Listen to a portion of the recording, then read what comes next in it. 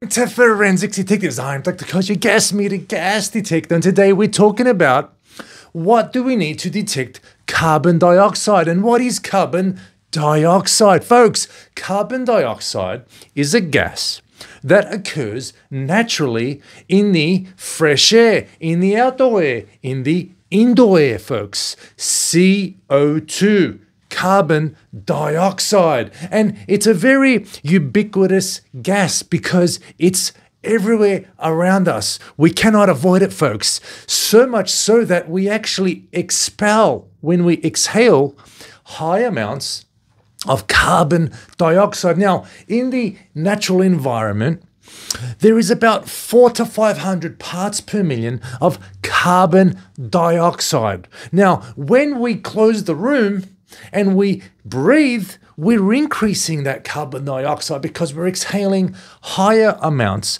of carbon dioxide than what we breathe in. That's why it's important to make sure we have fresh air always coming into the indoor spaces at work, at home so that we are continuously negating the increased accumulative effects of our exhalation. Folks, that's why carbon dioxide, with regards to indoor air quality monitoring, is very important. Now, let me give you a quick demonstration. Dr. Koz here has a handheld carbon dioxide monitor. This guy is detecting the ambient carbon dioxide levels you can see it's about six to 700. Now, if I start bringing this closer to my mouth, it's picking up the higher levels of carbon dioxide that I'm breathing, and bang! It triggered the alarm. The alarm here is set at 1000 parts per million. And you could see what's going on. You could see that the high amounts of carbon dioxide from my exhalation has triggered the carbon dioxide detector, folks. Now, that's why it's important at home, at work, at school to make sure we have good fresh air. Good fresh air that means we are letting fresh air, which is low levels of carbon dioxide, into the room, into the indoor space to dilute the high amounts of carbon dioxide that's accumulating due to many people or one person being in a room, just like this one over here, folks. Now, high levels of carbon dioxide is not good. It makes us feel fatigued, it makes us feel nauseous, and there are many academic studies that show it does not make us concentrate quite well. So that's why it's important for schools, good air quality for our students at their schools, high school, middle school, elementary school is important so that they can focus and concentrate. Otherwise, if they do not have good air quality, studies have shown that their concentration lapses, folks.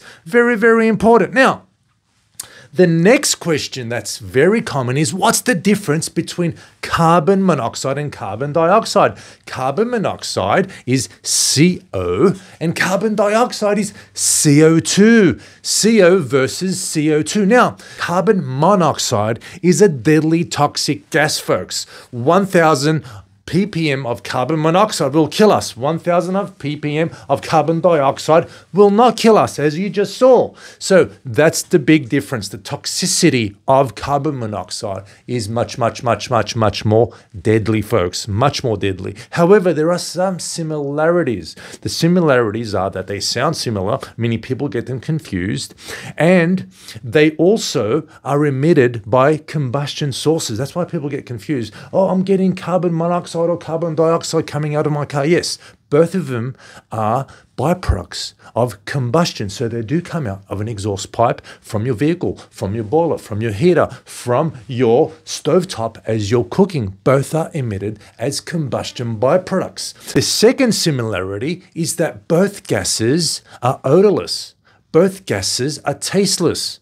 Both gases are fairly inert, which means they stabilize in the air and they hang around, folks. So they also have very similar physical properties in that respect. Thirdly, although carbon monoxide is much, much, much, much, much more toxic and deadly, high levels of carbon dioxide is also not good for us. It's also not good. So both gases at high levels is deadly especially for carbon monoxide, and it's toxic for the human body, folks. So that's another reason why folks and many people, many customers we see, and many blogs and people are talking here and there are also confusing carbon monoxide with carbon dioxide. How do we detect carbon dioxide. Carbon dioxide gas is detected with an NDIR, carbon dioxide sensor. NDIR stands for non dispersive infrared sensor. And simply what that means is that we have a sensor element that throws out infrared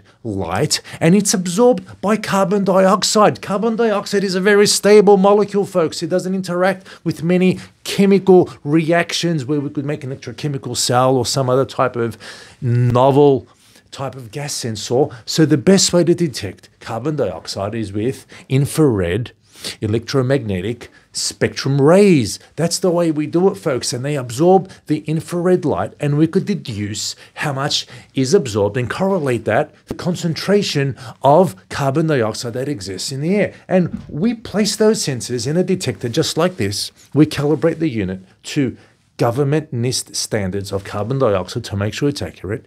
And then we have a detector that displays you the ppm of carbon dioxide that exists in the air, folks. The next question is, how useful is carbon dioxide? Now, carbon dioxide has many, many uses in our modern day life, folks. Now, we use carbon dioxide in various agricultural situations to help promote growth of various plants and agricultural products, folks. It's very important for growing our crops. The second application is the beverage industry. Who likes seltzer? Who likes sodas? Guess what? Carbon dioxide is within those products and it gives us the fizz, as you probably know.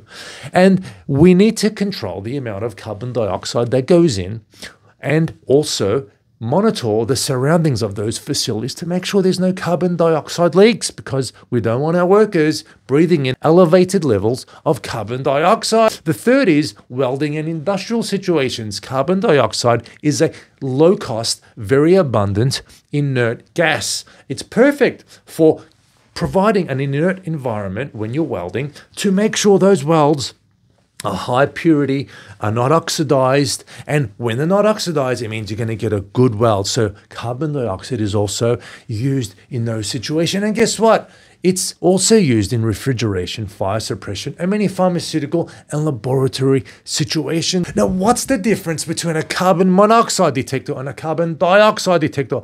Typically, in your home, you may already have a carbon monoxide detector. It may look something like this. It's usually white, it usually has a display, and you pop it on your ceiling, on your wall to protect you. It may be a state a county or a city requirement that you have this, or your landlord must provide one for you. This protects us from death, folks. It protects us from high levels of accumulated carbon monoxide in our homes. Typically, you will not find a carbon dioxide monitor in your home. Sometimes they are included in air quality measurement systems that control your HVAC system in your building at work or in industrial situations, but very rarely would you find a carbon dioxide detector in a home. But I tell you what, they are getting more popular. We are selling many carbon dioxide monitors to many people for home applications so people can understand what type of CO2 levels they have in their homes. And if it gets too high, they crack open the door, crack open a window, folks. So we are seeing that increase, but by no uh, degree is it as popular as a carbon monoxide detector that you have to protect you from this deadly gas. The next question I get is Dr. Kaz, what are the correct CO2 levels that I should be breathing in? Now, there are various organizations out there that surmise and recommend various CO2 levels for the indoor space. Now, ASHRAE, ASHRAE is an organization that provides recommendations for indoor air quality and they recommend 1000 parts per million. Now, I've got my carbon dioxide monitor here. I'm breathing in this small room. I've got about 600 or so parts per million of carbon dioxide. If it gets to 1000, then that means I need to crack open a window and improve the air quality, improve the freshness of air coming from the outside in into this area, folks. Very, very important. Now, there are other folks that recommend different levels. OSHA has a 5,000 ppm limit.